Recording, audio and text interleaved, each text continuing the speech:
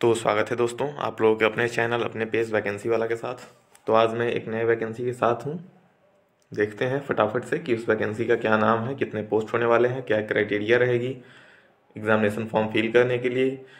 Form fill करने के लिए कितने मतलब कि उसका पेमेंट रहने वाला है, क्या फॉर्म का रेट रहेगा, सारी चीज़ों के बारे में इस वीडियो में जानकारी दूँगा, क्या सैलरी स्लिप रहेगी, क्या सैलरी मिलेगी, सभी चीज़ों के बारे में मैं बताने वाला हूँ।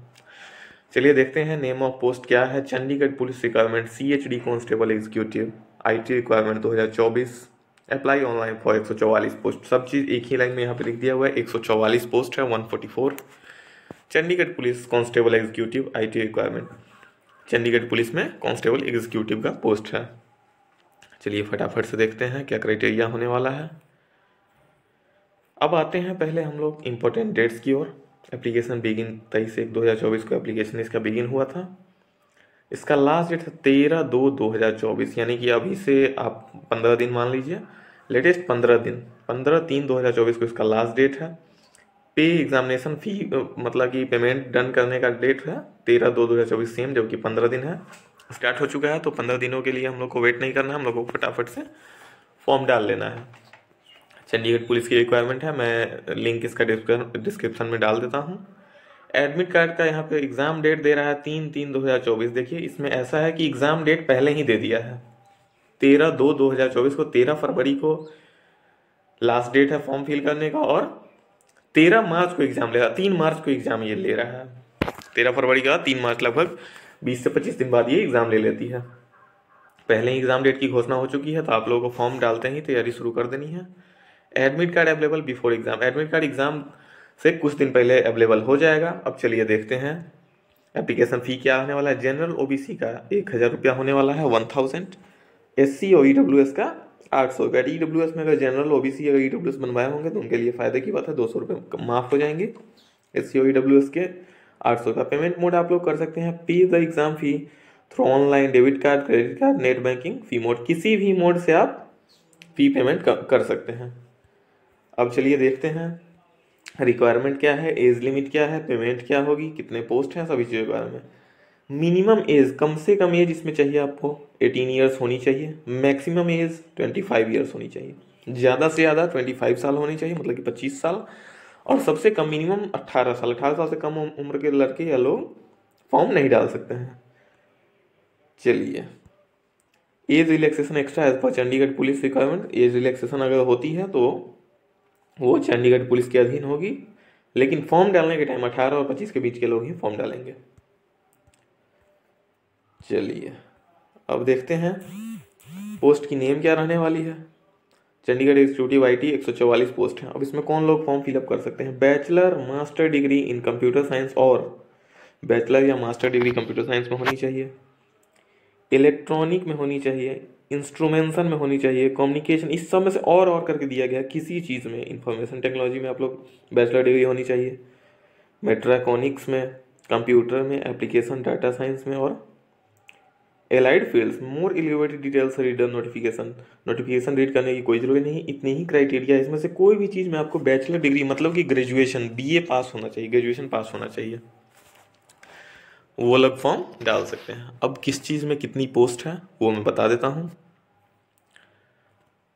चलिए, Chandigarh police executive category wise vacancy detail general के लिए इसमें से सिक्सटी फाइव एक सौ चौवालीस पोस्ट है। जनरल के लिए सिक्सटी फाइव पोस्ट है। ई डब्ल्यू एस के लिए तेरह पोस्ट है।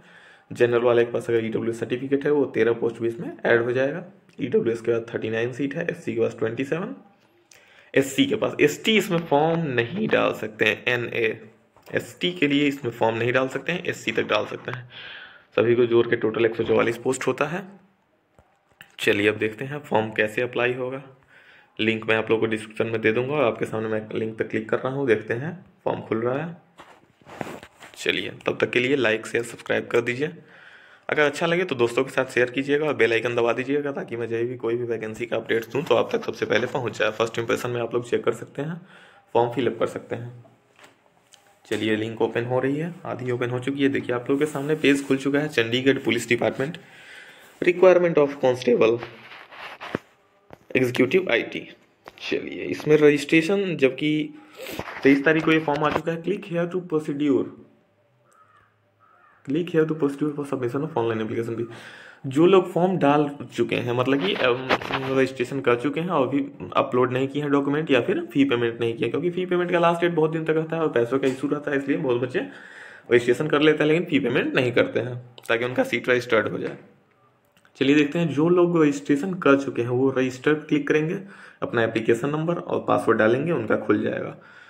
और नए लोगों के लिए नहीं, नए लोगों के लिए रजिस्ट्रेशन पर क्लिक करेंगे, उनको रजिस्ट्रेशन करना होगा, उसके बाद खुलेगा। और लॉगिन जो है, वो पुराने लोगों के लिए है, जो रजिस्ट्रेशन कर चुके हैं। सॉरी मैं पहले गलत बोल चुका था।